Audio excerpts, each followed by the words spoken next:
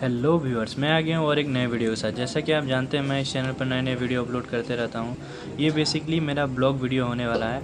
तो बिना आपका टाइम वेस्ट किए वीडियो को शुरू करते हैं। पूरे दिन कलकत्ता घूमने के बाद हम शाम को कलकत्ता के मशहूर हावड़ा ब्रिज पर पहुँचे और वहाँ शाम होने का इंतज़ार किया और जैसे ही शाम हो गया, वहाँ पर ठंडी ठंडी हवाएँ चलने लगी और काफ़ी अच्छा लगने लगा हमें।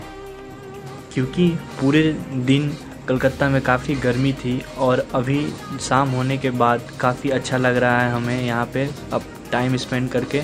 हम अभी कलकत्ता हावड़ा ब्रिज पे हैं। ये व्यू है कुछ यूँ लहरों का आना और चलती हुई बोट का देखने का शाम में मज़ा ही कुछ और होता है।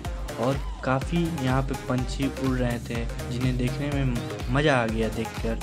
और यहाँ पर हमें मतलब टाइम स्पेंड करते करते कैसे रात हो गया, हमें पता ही नहीं चला।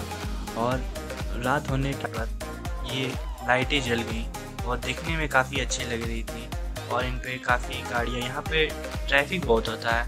आप कभी भी बाइक बाइक से आए या चार चक्कर से आए तो देखिएगा चार चक्कर जितने होते हैं, उनमें सब में स्क्रैच होता ही होता है, क्योंकि यहाँ पर ट्रैफ़िक बहुत ज़्यादा है, क्योंकि पॉपुलेशन ज़्यादा है, इसलिए ट्रैफ़िक भी ज़्यादा है।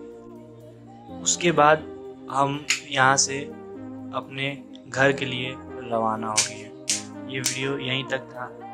अगर वीडियो पसंद आए तो लाइक, शेयर एंड सब्सक्राइब कर